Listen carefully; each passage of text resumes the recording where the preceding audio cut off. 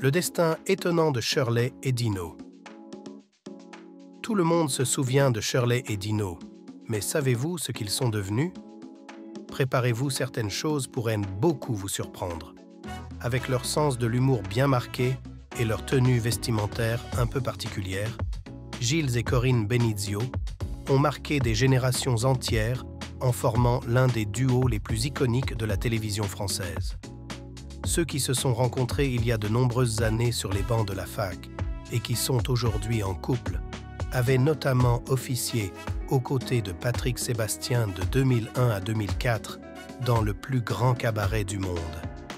Jusqu'à leur départ de l'émission, tous les deux avaient fait le bonheur de plusieurs millions de téléspectateurs avant de prendre une grande décision, celle de ranger leurs costumes afin d'explorer de nouveaux horizons. En effet, après avoir passé plusieurs années à faire rire les gens grâce à leurs personnages de Shirley et Dino Gilles et Corinne, ont décidé de passer à autre chose et d'enterrer ce duo iconique à tout jamais. L'âme de Shirley et Dino est là, mais les personnages, leurs costumes, la robe Vichy, c'est révolu.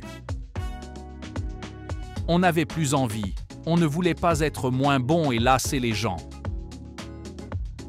On les a joués 30 ans donc, on en avait fait le tour. On les a mis en maison de retraite pour faire autre chose.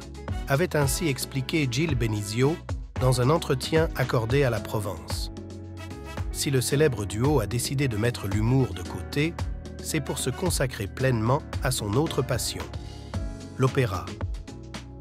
En 2009, ils ont notamment adapté l'opéra baroque Le roi Arthur de Purcell avant de mettre en scène en 2015 Don Quichotte chez la Duchesse de Joseph Baudin de Boismortier ou encore Platé de Jean-Philippe Rameau.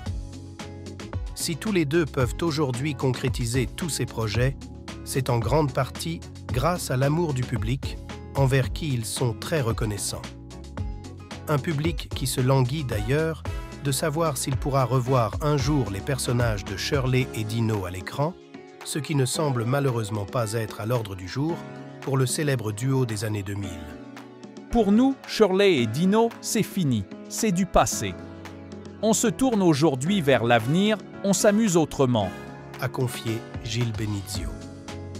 Il souhaite aujourd'hui rendre accessible l'humour à l'opéra côté vie privée.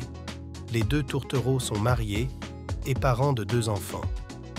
Raphaël est devenu ingénieur en électronique embarquée. Quant à Elisa, elle a décidé de suivre le même chemin que ses parents en devenant comédienne.